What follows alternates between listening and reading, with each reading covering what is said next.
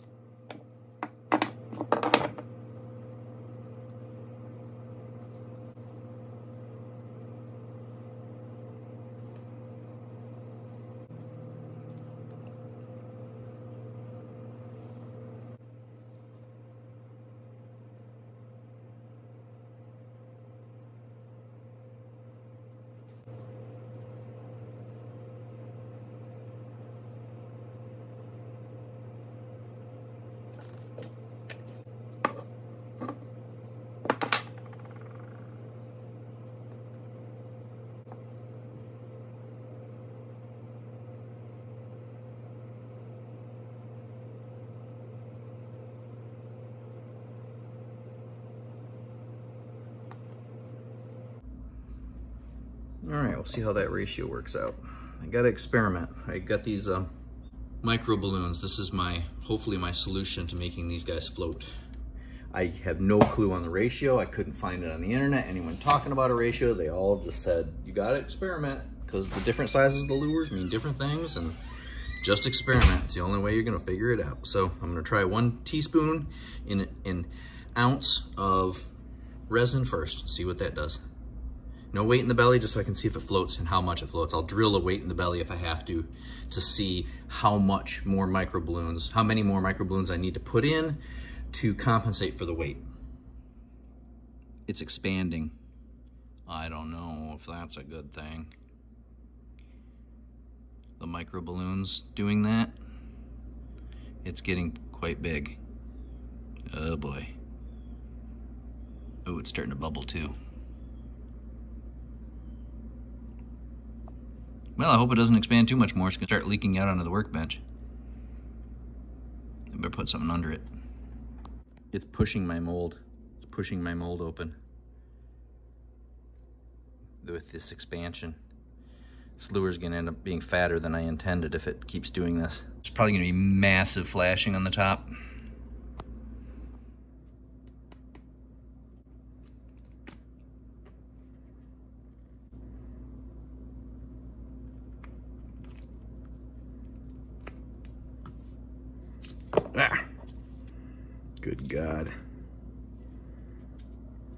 It feels so light. Wow.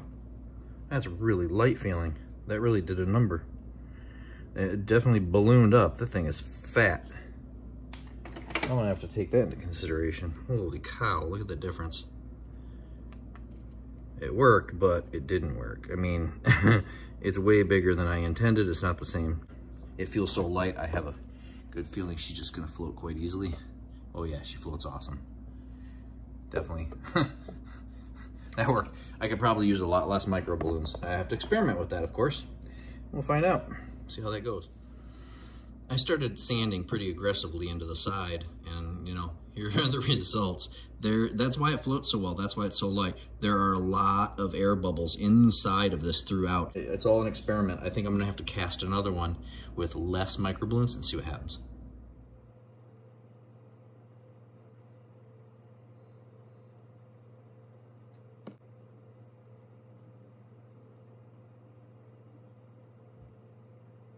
Half as many.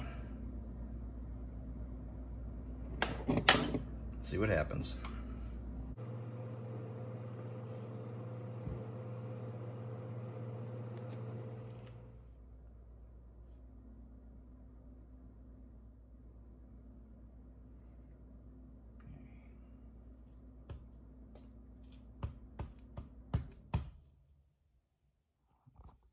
expanding again.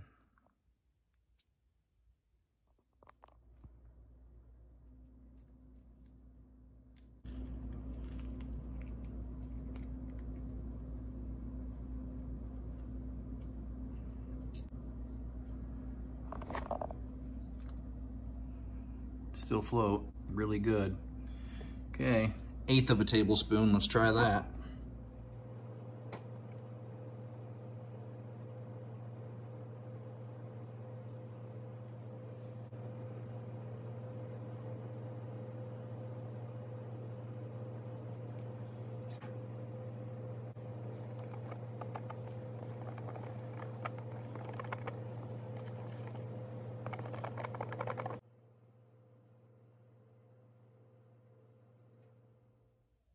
So I did quite a bit of experimenting. The first one came out super fat. It expanded. When I mixed it, I, I didn't mix thoroughly and I had a lot of bubbles in the plastic, I think is what happened. Because I've put just as many micro balloons in some of these others and not had that happen. Um, so I just kind of started experimenting, put one teaspoon of micro balloons in. This is kind of heavy. Um, it floats, but as soon as you give it any weight, it sinks. So I just started going down and trying different amounts. Then I ended up with four teaspoons and that worked really well. And then I put some weight in the belly and uh, quite a bit of weight and it floats upright nicely. So through my experimentation, what I found out with these while I was making the different measurements, I ended on four tablespoons of the micro balloons. And what I found worked best was to put part A in and then the micro balloons and stir it up completely, completely incorporated, and then adding B, part B and stirring that in for the reaction to start taking place. Uh, when I did these at the same time, with the microballoons coming last, I was kind of rushed.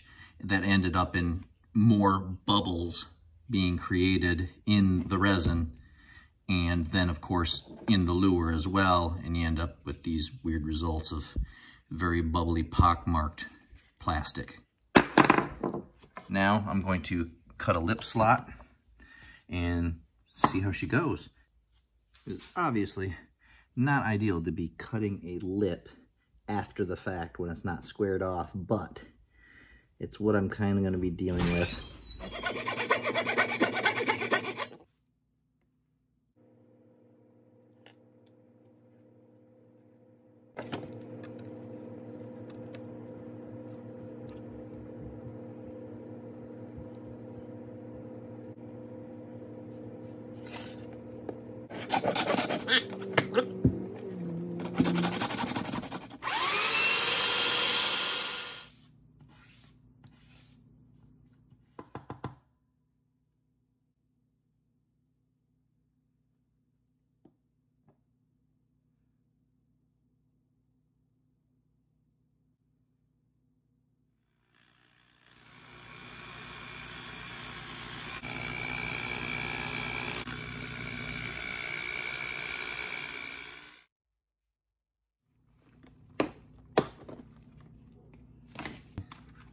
All these that I've been doing recently, maybe I'll go for this pattern again. My daughter loves white tigers, so I did one that was just white with some black stripes. Real simple, but it's pretty popping, pretty eye-catching.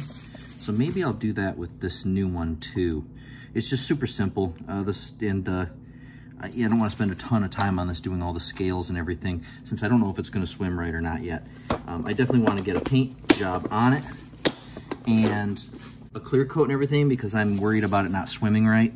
If the clear coat's not filling in the eye sockets, the eyes aren't there, you know.